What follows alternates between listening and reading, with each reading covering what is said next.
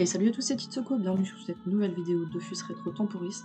On se retrouve dans le hall des Valeureux aujourd'hui pour faire un petit défi classique, pour faire suite à ce qu'on a déjà fait. Donc c'est parti pour, si j'arrive à le trouver, n'est-ce pas? Pour, pour, pour, où es-tu, où es-tu? Le rat noir On se retrouve les manches et on y va